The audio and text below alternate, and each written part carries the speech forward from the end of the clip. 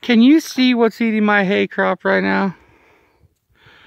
There's 13 deer right there eating my little test plot here. 13 of them. Just having a grand old time.